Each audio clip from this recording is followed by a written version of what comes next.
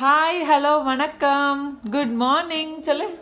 Good morning so Aarathi Aditya இப்போ தான் குளிச்சு எல்லாம் ரெடியாக ஃப்ரெஷ்ஷாக இருக்கிறாங்க. என்னம்மா? குட்டிமா ட்ரெஸ் காட்டு. வா ட்ரெஸ் காட்டு. கீழே இறங்கி காட்டு. அப்பப்பப்பப்பப்பா. வா சூப்பரு வா பியூட்டிஃபுல் அம்மா லுக்கிங் ஸோ பியூட்டிஃபுல் ரெண்டு பேரும் சேர்ந்து நல்ல. சேர்ந்து நல்ல. சேர்ந்து நல்ல. பக்கத்தில் பக்கத்தில் நல்ல. அவளுக்கு ஒரு ஹக்கி கொடு. டுக்கோ ஒரு ஹக்கி ஹக்கி அந்த மாதிரி டிவி பக்கத்தில் உட்கார கூட நம்ம எவ்வளோ நாள் சொல்கிறோம் கண் எஃபெக்ட் ஆயிரும். அதுக்கப்புறம் நீ டிவியும் கீழே தள்ளி போட்டுருவேன். உன் பாக்கெட் எங்க? பேசிய பாக்கெட் காணுமா. நீ எதுக்கு இந்த ட்ரெஸ்ஸை வெளியே எடுத்த? வெளியே போடக்கூடாது. என்ன? பாக்கெட் காணுமா? சரி ஓகே நீ ஒரு ஹாய் சொல்ல எல்லாருக்கும். ஹாய் ஒரு பிக் ஹாய் சொல்லிடு பிக் ஹாய் டுக்கு பிக் ஹாய் ஹாய் சொல்லு அவள் ஆக்சுவலாக கோவத்தில் இருக்கிறா. எதுக்குன்னா பொட்டெல்லாம் வச்சுட்டு வர்றப்போ அங்கே இருந்துட்டு ஏதோ க்ரீம் ஏதோ கேட்டால் நான் கொடுக்கல.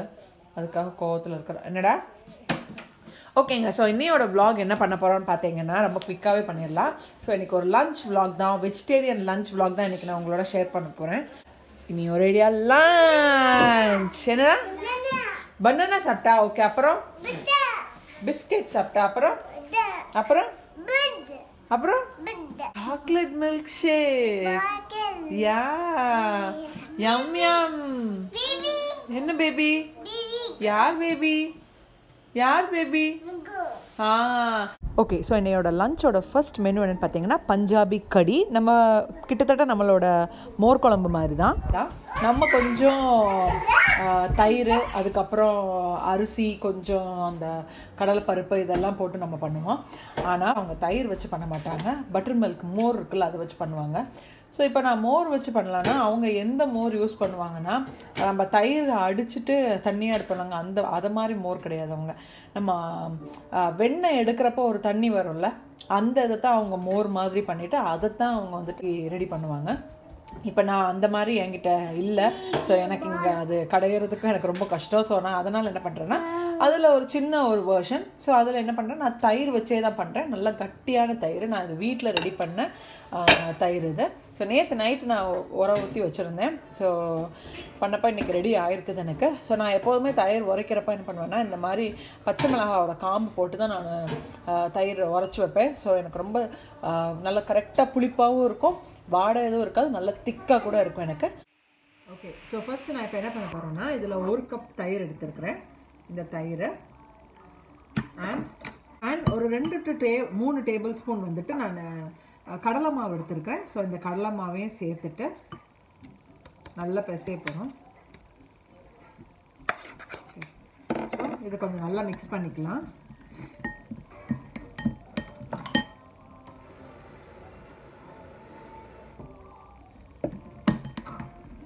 நல்லா மிக்ஸ் பண்ணிக்கோங்க பிகாஸ் அந்த லம்ஸ் இருக்கும்ல அதுக்கு. எப்போதுமே நம்ம ஊர் மோர்க்குழம்பு அதை மாதிரி வைக்கிறதுக்கு இதை மாதிரி கூட நீங்கள் ட்ரை பண்ணாங்க நல்லா தான் இருக்கும். இப்போ இதோட ஒரு கப்பு தண்ணி. இன்னும் நம்ம தண்ணி ஆட் பண்ண அது நம்ம ஆக்சுவலாக நம்ம குழம்பு ரெடி பண்ணுறப்போ நம்ம தண்ணி ஆட் பண்ணிக்கலாம். ஸோ இதை நல்லா நம்ம மிக்ஸ் பண்ணியாச்சு. இப்போ இதை நம்ம சைடில் வச்சிடலாம். ஓகே ஸோ இப்போ இந்த குழம்புக்கு கொஞ்சம் பக்கோரா பண்ண போகிறோம் அதுக்கு என்னென்ன தேவைன்னா கொஞ்சம் கீரை எடுத்துருக்குறேன். நீங்கள் மேத்தி கூட எடுத்துருக்கலாம். கீரை குட்டி குட்டியாக கட் பண்ணியிருக்கிறேன். ஸோ இப்போ இதோட கொஞ்சம் என்னெல்லாம் ஆட் பண்ணலான்னு பார்க்கலாம் ஒரு மூணு டேபிள் ஸ்பூன் வந்துட்டு கடலை மாவு ஒரு டீஸ்பூன் தயிர் கொஞ்சம் உப்பு கொஞ்சம் பெப்பர் பவுடர் ஓகே அண்ட் ஒரு பச்சை மிளகாய் குட்டி குட்டியாக கட் பண்ணது. ஸோ அவ்வளோதான் இனி இதை மிக்ஸ் பண்ணிடலாம். தண்ணி நார்மலி தேவைப்படாது பிகாஸ் தயிர் ஆட் பண்ணியிருக்கோம்லங்க வேணும்னா கொஞ்சம் தண்ணி தெளிச்சுக்கோங்க. ஓகே ஸோ இது நல்லா பிசைஞ்சாச்சு. இனி குட்டி குட்டியாக நம்ம ஃப்ரை பண்ணி எடுத்துடலாம். ஓகே ஸோ ஃப்ரை ஆகிட்டு இருக்குது பாருங்கள் இப்படி குட்டி குட்டியாக கிள்ளி போட்டால் போதும். ஓகே ஸோ நான் சொன்ன மாதிரி அந்த குழம்பு வந்து சும்மா நம்ம ப்ளெயினாக சாப்பிட முடியாது. அதுக்காக என்ன பண்ணியிருக்கோம்னா இந்த பக்கோரா கூட ரெடி பண்ணியிருக்கிறோம். இது இந்த கீரை வச்சு நான் ரெடி பண்ணியிருக்கிறேன். நல்ல கிறிஸ்பியாக இருக்குது பாருங்கள் இப்போ இதை தான் நம்ம இப்போ கொஞ்சம் குழம்பு என்ன நம்ம குழம்பு கொதிக்க வைக்கணும். கொதிக்க வச்சதுக்கப்புறம் இதை அந்த குழம்புல போட்டால் போதும். அதுக்காக தான் இது. ஓகே ஸோ நம்ம பக்கோரா ரெடி பண்ணிட்டோம். இப்போ அடுத்தால குழம்புக்குள்ளே ரெடி பண்ணிடலாம். ஸோ அதுக்கு வந்துட்டு கொஞ்சம் எண்ணெய் கடுகு ஜீரகம் அண்ட் கொத்தமல்லி வந்துட்டு கொஞ்சம் நச்சு போட்டிருக்கணும் கொத்தமல்லி இலை இல்லை கொத்தமல்லி வ- அந்த சீட்ஸ் இருக்கும்ல அதை வந்துட்டு நல்லா கொஞ்சம் நச்சு போட்டிருக்கிறேன். இதோட கொஞ்சம் வெங்காயம் இது கொஞ்சம் பொரியட்டும். பொரிஞ்சதுக்கப்புறம் வெங்காயம் குட்டி குட்டியாக கட் பண்ணி வச்சுருக்கிறேன். அதை நம்ம ஆட் பண்ணிக்கலாம். ஓகே ஸோ இப்போ இதோட நான் வெங்காய கடுகு நல்லா பொரிஞ்சிருச்சு. பொரிஞ்சதுக்கப்புறம் நான் கொஞ்சம் வெங்காயம் இஞ்சி பூண்டு பச்சை மிளகாய் இது எல்லாத்தையும் குட்டி குட்டியாக கட் பண்ணி இதில் ஆட் பண்ணியிருக்கிறேன் இப்போ இதுவும் கொஞ்சம் வதங்கட்டும். வதங்கினதுக்கப்புறம் கொஞ்சம் சால்ட்டும் கொஞ்சம் மஞ்சள் பொடியும் சேர்த்து நம்ம ஆட் பண்ணிக்கலாம். ஸோ இதில் ஒன்றே ஒன்று மட்டும் ஷார்ட்டேஜ் ஆகுது. என்னதுன்னா என்கிட்ட கொத்தமல்லி இலை இல்லை இன்னைக்கு. ஸோ அன்னைக்கு வாங்கிட்டு வந்தேன். ரொம்ப கம்மியாக தான் வாங்கிட்டு வந்தேன் நான். ஸோ இன்னைக்கு அது மட்டும் தான் இல்லை. இன்னும் இதில் கொஞ்சம் மஞ்சள் பொடி கூட ஆட் பண்ணியாச்சு. இப்போ வெங்காயமும் கொஞ்சம் நல்லா வதங்கியாச்சு. இனி இப்போ நம்ம இந்த ரெடி பண்ணி வச்சுருக்கிற இந்த பேசன் கடலை மாவும் இந்த தயிரும் சேர்த்து ரெடி பண்ணி வச்சுருக்கோம்லங்க. இதை நம்ம இப்போ இதில் ஊற்றிடலாம் ஓகே ஸோ இப்போ இதில் கொஞ்சம் பெருங்காயம் ஆட் பண்ணிக்கலாம். ஏச்சு பண்ணிட்டு இப்போ நம்ம பேசன் கடலை மாவு போட்டிருக்கனால ரொம்ப சீக்கிரமாக கட்டி ஆயிரும். அதனால் கொஞ்சம் கைவிடாமல் கிளறிட்டே இருங்க. இனி இதோட நம்ம கொஞ்சம் தண்ணி கூட ஆட் பண்ணணும். ஓகே ஸோ கொஞ்சம் தண்ணி ஆட் பண்ணிக்கலாம். அதே பவுலில் தான் கொஞ்சம் தண்ணி கூட ஊற்றி வச்சுருக்கிறேன்.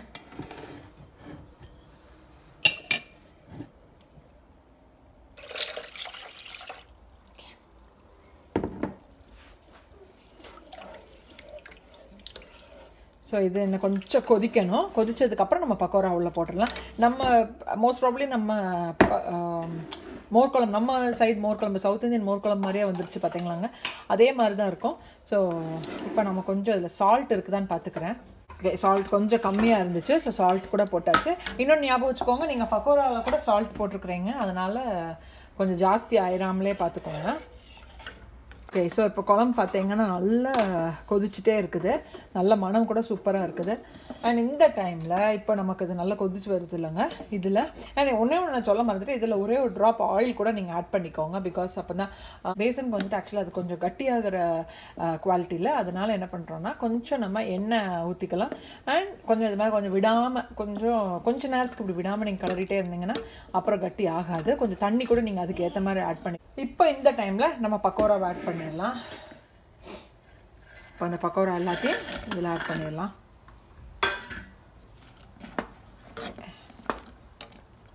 ஸோ இனி இது கொஞ்சம் குக் ஆகட்டும். உப்பு மட்டும் இடையில கரெக்டாக இருக்குதான்னு பார்த்துக்கோங்க.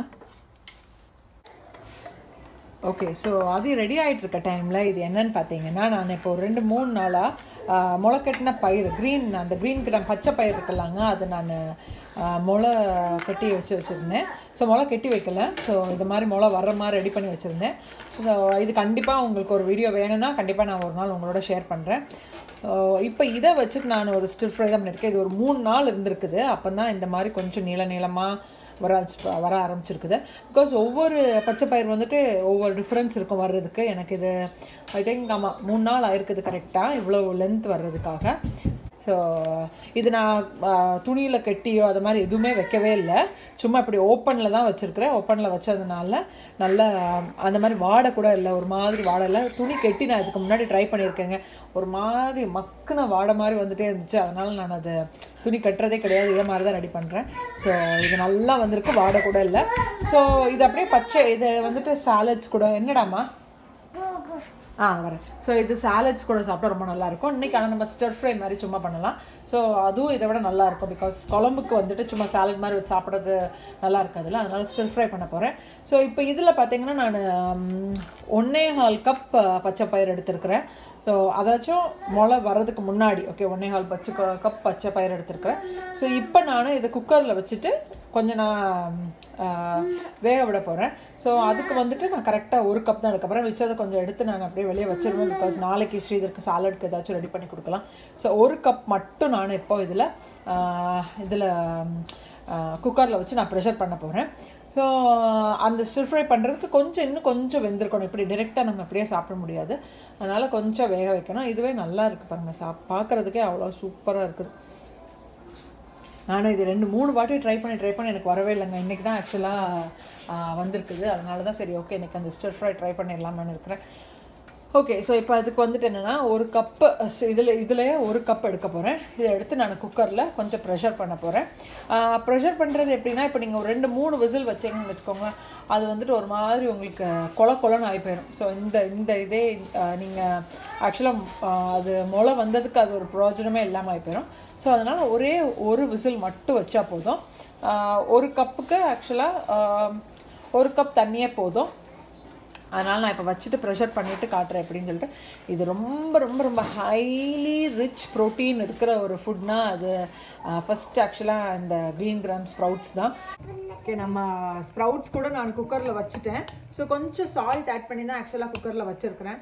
ஸோ பாப்பா எப்படி இருக்குன்னு சொல்லிவிட்டேன் ரொம்ப ரொம்ப ஹெல்த்திங்க குழந்தைங்களுக்கு கொடுக்கலாம். அப்புறம் பெரியவங்க ரொம்ப ரிச் ப்ரோட்டீன் ஃபிஷ் எல்லாம் விட ஹையஸ்ட்டு ரொம்ப ஹையான ரிச் ப்ரோட்டீன் இருக்கிறது வந்து ரொம்ப அதிகமான ப்ரோட்டீன்ஸ் இருக்கிறது வந்துட்டு இந்த ஸ்ப்ரவுட்ஸ் தான். இது மட்டும் இல்லை கொண்டக்கடலை அதுக்கப்புறம் எந்த பீன்ஸ் பல்சஸ் ஐட்டம் எது இருந்தாலும் சரி இதை மாதிரி நீங்கள் கொஞ்சம் இதை மாதிரி ஸ்ப்ரவுட்ஸ் வர்ற மாதிரி நீங்கள் ரெடி பண்ணி கொடுங்க கண்டிப்பாக ரொம்ப ஹெல்தி இது உங்களுக்கு நான் இது எப்படி ரெடி பண்ணேன் அப்படின்னு நீங்கள் வேணும்னு நினச்சிங்கன்னா கண்டிப்பாக எனக்கு கமெண்ட் பாக்ஸில் கமெண்ட் பண்ணுங்கள் ஸோ நான் உங்களுக்கு um, அடுத்தாளுக்கு மறுபடியும் ஸ்ப்ரவுட்ஸ் க்ரீன் கிராம் வந்துட்டு.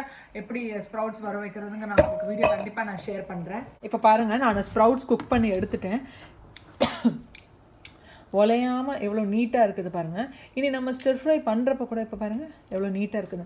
ஸ்டிர் ஃப்ரை பண்ணுறப்ப கூட ரொம்ப ஸ்லோவாக தான் நம்ம வந்துட்டு அதை um, டாஸ் பண்ணணும் பிகாஸ் எல்லாம் உடஞ்சிரும் இல்லைனா மசிச்சு போயிடும் இல்லை ஒரு சில பேர் இப்போ நீங்கள் குழந்தைங்களுக்கு கொடுக்குறப்ப கொஞ்சம் நீங்கள் மசிச்சே கொடுக்கலாம் ஒன்றும் இல்லை கொஞ்சம் நல்லாவே நீங்கள் ஃப்ரை பண்ணிக்கலாம் கொஞ்சம் டாஸ் பண்ணிக்கலாம் ஒன்றும் ப்ராப்ளம் இல்லை. ஸோ எவ்வளோ நீட்டாக வந்திருக்குது பாருங்கள் ஒரு கப்புக்கு ஒரு கப் இந்த ஸ்ப்ரவுட்ஸ்க்கு வந்துட்டு ஒரு கப் தண்ணி வச்சுருக்கிறேன் நான். கொஞ்சம் உப்பு போட்டுட்டு ஒரு ஒரே ஒரு விசில் மட்டும்தான் நான் வச்சுருக்கிறேன். ஸோ நல்லா நீட்டாகவே குக் ஆகிடுச்சு இனி தண்ணி மட்டும் நீங்கள் கொஞ்சம் நல்ல தண்ணி இருந்துச்சுன்னா கொஞ்சம் நல்லா நீட்டாகவே ட்ரைன் பண்ணிவிடுங்க கொஞ்சம் உங்களுக்கு பெரிய ஆளுங்க கொஞ்சம் சாப்பிட்றப்ப கொஞ்சம் அப்படியே இது மாதிரி கொஞ்சம் மசிக்காமல் நீட்டாகவே இதே மாதிரி இதில் வச்சுட்டு நம்ம ஸ்டிர் ஃப்ரை பண்ணி கொடுத்தா போதும். ஸோ இப்போ இதுக்கு என்னெல்லாம் தேவை ஸ்டிர் ஃப்ரை பண்ணுறதுக்கு என்னெல்லாம் தேவைன்னு நான் சொல்லிடுறேன். பச்சைப்பயிர் பண்ணுறதுக்கு நம்ம ஸ்டார்ட் பண்ணிடலாம். அதுக்கு தேவையானது கொஞ்சம் எண்ணெய் எடுத்துருக்கிறேன். அண்ட் கடுகு ஜீரகம் அப்புறம் பூண்டு வந்துட்டு கொஞ்சம் நான் நச்சு தான் போட்டிருக்கேன் ஃபுல்லாலாம் அடித்து போடல நச்சு போட்டிருக்கிறேன். அண்ட் ரெண்டு கருவேப்பிலை போட்டிருக்கிறேன். ஸோ இப்போ பார்த்தீங்கன்னா நான் நார்மலி இது தேங்காய் எண்ணெயில் பண்ணிங்கன்னா இன்னும் கொஞ்சம் டேஸ்ட்டாக இருக்கும். எனக்கு தேங்காய் எண்ணெயில் பண்ணால் தான் எனக்கு ரொம்ப பிடிக்கும். ஸ்ரீதருக்கு தேங்காய் எண்ணெய் சூப்பராக பிடிக்காது. அவருக்கு நான் எதுக்கு தேங்காய் எண்ணெய் எடுத்தாலும் எதுக்கு இவ்வளோ தேங்காய் எண்ணெய் ஊற்றுறேன் அப்படிம்பாரு.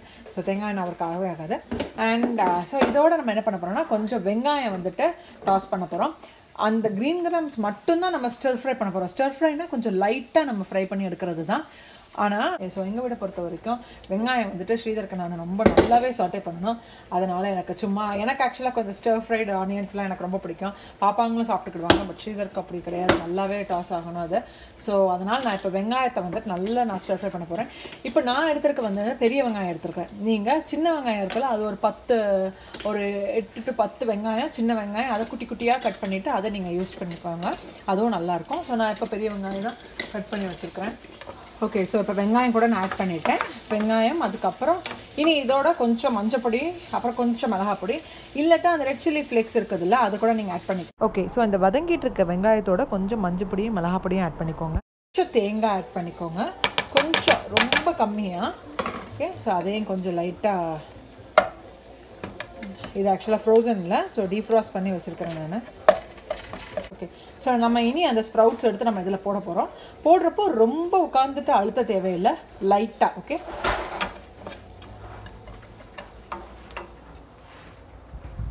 ஸோ இப்போ போட்டுடலாம் ஓகே ஸோ இப்போ லைட்டாக நம்ம பண்ணிட்டா போதும்.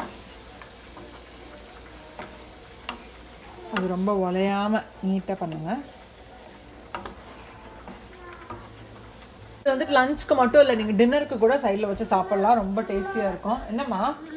என்னடா? என்ன வேணும்? என்னது? எனக்கு ஆக்சுவலாக கொஞ்சம் காரம் கம்மியாக இருந்த இருந்துச்சு. அதனால் நான் என்ன பண்ணேன்னா கொஞ்சம் பெப்பர் பவுடர் மட்டும் மேலே டாஸ் பண்ணியிருக்கிறேன். ஸோ இது கொஞ்சம் குக் ஆகட்டும். குக் ஆனதுக்கப்புறம் நம்ம எடுத்து வச்சிட்டா போதும். வேணால் கொஞ்சம் நீங்கள் தேங்காய் எண்ணெய் கூட மேலே யூஸ் பண்ணிக்கலாம். செம்ம டேஸ்ட்டாக இருக்குங்க தேங்காய் எண்ணெய் மேலே ஊற்றுறப்போ ஸோ இது அவ்வளோதான் இப்போ பஞ்சாபி கடி ரெடி ஆகிட்டு இருக்குது இப்போ பார்த்தீங்கன்னா இங்கே ரெடி ஆகிட்டு இருக்குது ஓகே ஸோ அதுக்கு நம்ம இப்போ குழம்பு கொஞ்சம் தாளிச்சிடலாம். அதுக்கு நான் என்ன பண்ணுறேன் கடுகு நம்ம ஃபஸ்ட்டே ஆட் பண்ணிட்டோம் இல்லை? ஸோ இப்போ தாளிக்கிறதுக்கு என்ன பார்த்தீங்கன்னா கொஞ்சம் எண்ணெய் ஜீரகம் ரெண்டு கருவேப்பிலை ஒரு காஞ்ச மிளகா அண்ட் கொஞ்சமோல மிளகாத்தூள். ஸோ இதை நம்ம இப்போ கொஞ்சம் நல்லா கொஞ்சம் பொரியட்டும். பொரிஞ்சதுக்கப்புறம் மேலே அப்படியே நம்ம கடுகு இதை தாளிச்சிட்டு மேலே ஊற்றிட்டா போதும். ஸோ அதோட நம்ம பஞ்சாபி கடி குழம்பு ரெடி ஆகிடுச்சோம் ஸோ நான் இது க- தேவையானது எல்லாத்தையும் தாளித்து ஊற்றிட்டேன் இனி அவ்வளோதான் இனி ஒரு பவுலில் ட்ரான்ஸ்ஃபர் பண்ணிட்டா போதும். ஸோ சூப்பரான பஞ்சாபி கடி ரெடி ஆகிடுச்சு நம்ம பண்ணுற அதே நம்ம சவுத் இந்தியன் மோர் குழம்பு மாதிரியே தாங்க. ரொம்ப டிஃப்ரென்ஸ் எதுவுமே கிடையாது. கொஞ்சம் நம்ம அந்த பக்கோரா போடுறோம். நம்ம கூட அது மாதிரி பக்கம் பண்ணுறோம் பட் நம்ம வந்துட்டு மோ இந்த கடலை மாவு யூஸ் பண்ண மாட்டோம். இவங்க கடலை மாவு வந்துட்டு யூஸ் பண்ணிவிட்டு இதில் பண்ணுறாங்க ஸோ கண்டிப்பாக நீங்களும் வீட்டில் ட்ரை பண்ணி பாருங்கள் ரொம்ப சீக்கிரமாக பண்ணக்கூடிய ஒரு கறி இது. ஓகே ஸோ வீட்டில் எனக்கு ட்ரை பண்ணிவிட்டு டேஸ்ட் எப்படி இருக்குன்னு சொல்லிட்டு கண்டிப்பாக எனக்கு கமெண்ட் பண்ணுங்கள் அதோடைய கூட்டு என்ன ரெடி பண்ண போகிறேன் அப்படின்னு பார்த்தீங்கன்னா கொஞ்சம் பொடலங்காய் இருந்துச்சு என்கிட்ட. ஸோ பொடலங்காய் கூட்டு மாதிரி ரெடி பண்ண போகிறேன் ஸோ அதுக்கு பொடலங்காய் தோல் நல்லா சீவிக்கிறேன். நல்லா இல்லை லைட்டாக எனக்கு பொடலங்காய் கூட்டு எனக்கு ரொம்ப இஷ்டம். ஸோ கொஞ்சம் போல் பொடலங்காய் இருந்துச்சு அதை எடுத்துக்கிறேன்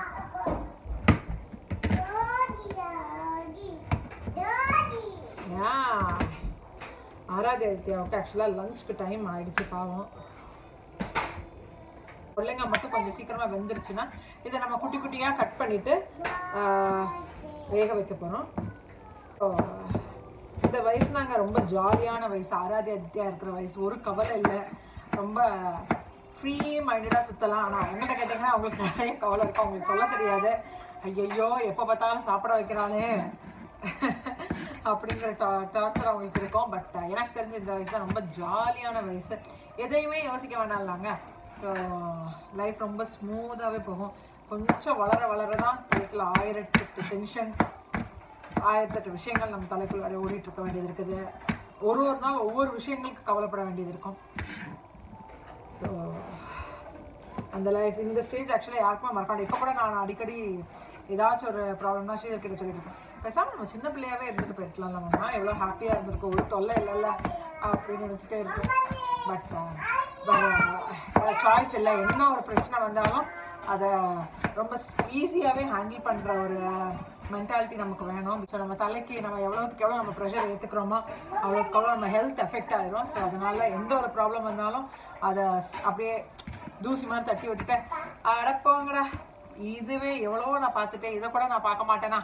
அப்படின்னு நினச்சிட்டு போயிட்டே இருந்தேன். ஸோ ரொம்ப ஈஸியாக இருக்கும் லைஃப் எனக்கும் ஆக்சுவலாக நிறைய ப்ராப்ளம்ஸ் இருக்கும் அப்பப்போன்னு சொல்லிட்டேன் பட் uh, ஒரு அதை யோசிச்சு யோசிச்சு மறுபடியும் நம்ம ஹெல்த் அஃபெக்ட் பண்ணிட்டு அப்புறம் குழந்தைங்கள நம்ம பார்க்க முடியாது நம்ம வீட்டில் இருக்கிறவங்கள கவனிக்க முடியாது. அதனால் அதை அப்படியே விட்டுறது. சரி ஓகே போனால் போகட்டும் போடா அப்படின்னு விட்டுறது தான் ஓகேங்க ஸோ டைலாக்ஸ் எல்லாம் ஸ்டாப் பண்ணிவிட்டு நம்ம ஸ்டிர் ஃப்ரை பண்ணி வச்சுருக்கிறோம்ல அது ஆக்சுவலாக குக் ஆகிடுச்சு அதை எடுத்து பவுலில் ட்ரான்ஸ்ஃபர் பண்ணிடலாம். ஓகே ஸோ இப்போ அதே பேனில் தான் நான் இந்த கட் பண்ணி வச்சுருக்கிற பொடலங்காவை கூட நான் போட்டு வேக வைக்க போகிறேன்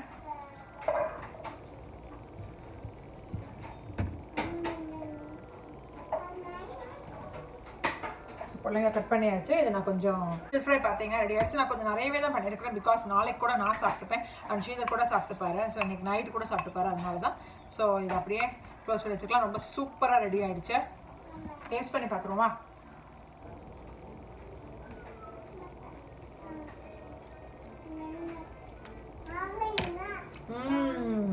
சூப்பர் இன்னும் ஒரு டிப்ஸ் நான் சொல்ல மறந்துட்டேன்.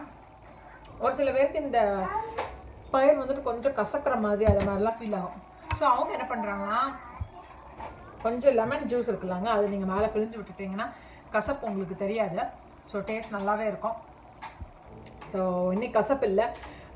அதான் அது ஆக்சுவலாக ஸ்ப்ரவுட்ஸ் எப்படி நீங்கள் வர வைக்கிறீங்களோ அதுக்கேற்ற மாதிரி தான் உங்களோட ஸ்டர் ஃப்ரை இருக்கும் உங்களோட அந்த இதோட டேஸ்ட் கூட இருக்கும்.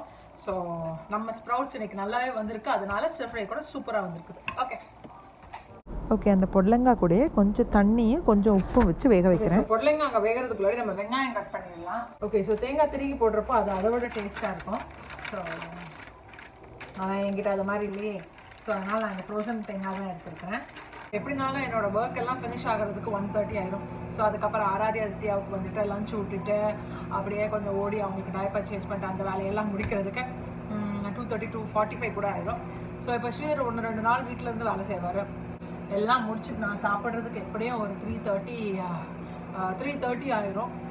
திருப்பி அவங்க தூங்குவாங்க. தூங்கி எழுந்திரிச்சோடனே மறுபடியும் அவங்கள எழுப்பிட்டு கொஞ்சம் இப்போ வெதர் நல்லாருக்கு வெளியே கூட்டிகிட்டு போகணும். வாக்கிங் நேற்றுலாம் நாங்கள் வாக்கிங் போயிருந்தோம். நல்லா என்ஜாய் பண்ணாங்க. வந்து நைட் சீக்கிரம் கூட படுத்து தூங்கிட்டாங்க. இன்னும் ஒரு விஷயம். எல்லாருக்கும் தேங்க்யூ எதுக்குன்னா நிறைய ஃப்ரெண்ட்ஸ் எனக்கு மெயில் பண்ணியிருந்தீங்க. கமெண்ட் பாக்ஸில் நிறைய கொஷின்ஸ் கேட்டிருந்தீங்க. நம்ம வீடியோ சம்மந்தப்பட்டதுன்னு இல்லை. இதை தவிர்த்துட்டு நிறைய அதுக்கு அவுட் ஆஃப் கொஷின்ஸ் நிறைய இருக்கும்ல. அது மாதிரி நிறைய கொஷின்ஸ் நிறைய பேர் கேட்டிருந்தீங்க. Thank you thank you thank you so much so ஏதோ ஒரு கண்டென்ட் நான் கொடுக்குறேன். அது உங்களுக்கு பிடிச்சிருக்கிறதுனால தான் என்ன என்னை மதித்து ஆக்சுவலாக எனக்கு அந்த கொஷின்ஸ் நீங்கள் ரைஸ் பண்ணியிருக்கிறீங்க தேங்க்யூ ஸோ மச்ங்க என்னால் முடிஞ்ச அளவுக்கு நான் எல்லாருக்கும் கண்டிப்பாக கமெண்ட் பண்ண பார்க்குறேன் கண்டிப்பாக நான் கமெண்ட் பண்ணி கமெண்ட் பண்ண பார்க்குறேன் பிகாஸ் ஒன்று ரெண்டு பேர் நான் விட்டுட்டேன்னா சாரி சாரிங்க என்னால் முடிஞ்ச அளவுக்கு கண்டிப்பாக நான் ட்ரை பண்ணுறேன் ஓகே எல்லாரும் கமெண்ட் பண்ணுற மாதிரி.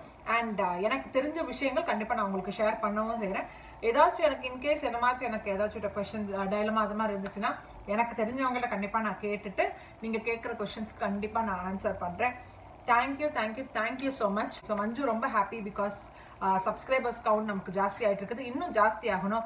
அதுக்கு நீங்கள் எனக்கு ஒரு ஹெல்ப் பண்ணணும். கண்டிப்பாக நம்ம வீடியோஸ் வாட்ச் பண்ணுங்கள் உங்கள் ஃப்ரெண்ட்ஸ் உங்கள் ஃபேமிலி எல்லாருக்கும் ஷேர் பண்ணுங்கள் ஸோ um, uh, லைக் பண்ணுங்கள் நம்மளோட வீடியோஸை அதுக்கப்புறம் எனக்கு எந்த மாதிரி வீடியோஸ் நான் போடணும்னு நீங்கள் நினைக்கிறீங்களோ அதை நீங்கள் கமெண்ட் பாக்ஸில் எனக்கு கமெண்ட் பண்ணுங்கள் ஸோ தட் நான் அதை வாசிக்கிறப்போ எனக்கு தெரிய வரும் ஓகே எந்தெந்த வீடியோஸ் கேட்குறாங்கன்னு சொல்லிட்டு. அண்ட் என்ன ஒரு விஷயம் என்கிட்ட சத்துமாவு ஆக்சுவலாக நிறைய பேர் என்கிட்ட கேட்டே இருக்கிறீங்க. கண்டிப்பாக நான் அந்த வீடியோ ஷேர் பண்ணுறேன் இப்போ நான் ஏன் ஷேர் பண்ணலன்னா அன்னைக்கு நான் இப்போ நாங்கள் ட்ராவலுக்கு போயிருந்தோம் இல்லைங்க அப்போ நான் என்ன பண்ணேன்னா இந்த சத்துமாவு வந்துட்டு கொஞ்சம் ரெடி பண்ணியிருந்தேன். அது என்கிட்ட இன்னும் கொஞ்சம் இருக்குது. ஸோ அது இப்போ நான் எப்படினாலும் சீக்கிரம் ஃபினிஷ் பண்ணிடுவேன். ஃபினிஷ் பண்ண அந்த சூட்டோடையே நான் உங்களுக்கு கண்டிப்பாக நான் சத்துமாவு வீடியோ உங்களுக்கு ஷேர் பண்ணுறேன் அந்த ஒரு காரணத்துக்காக தான் நான் உங்களுக்கு இன்னும் சத்துமாவு ரெசிபி போடாமல் இருக்கிறேன். ஸோ சீக்கிரமாகவே நான் உங்களுக்கு அதை ஷேர் பண்ணுறேன் அதுக்கப்புறம் என்ன ஸோ நிறைய பேர் என்ன என்கிட்ட ரெசிபி போட்டு கேட்டிருக்கிறீங்க. சீக்கிரமாகவே போடுறேன். ஒன்று ரெண்டு நாள் கொஞ்சம் டிலே ஆகும் வீடியோஸ் வர்றதுக்கு பிகாஸ் உங்கள் எல்லாருக்கும் தெரியும். ஆராதே ஆதித்யா தான். ஸோ நான் அவங்களையும் பார்த்துக்க வேண்டியது இருக்குதுல்ல. அதனால எனக்கு இருக்கிற டைமில் கண்டிப்பாக நான் உங்களுக்கு ஷேர் பண்ணுறேன் நேற்றே ஆக்சுவலாக போட வேண்டிய வீடியோ இன்னொரு வீடியோ இருக்குது. நேற்றே நான் அப்லோட் பண்ணணும் பிகாஸ் நேற்று நான் ரொம்ப டயர்டாக இருந்தேன். அவங்க ரெண்டு பேரையும் வாக்கிங்லாம் எடுத்துகிட்டு போயிருந்தாலும் ரொம்ப டயர்டாக இருந்தேன். அதனால இன்னைக்கு நான் எப்படினாலாச்சும் அந்த வீடியோ நான் உங்களுக்கு அப்லோட் பண்ணிடுறேன்.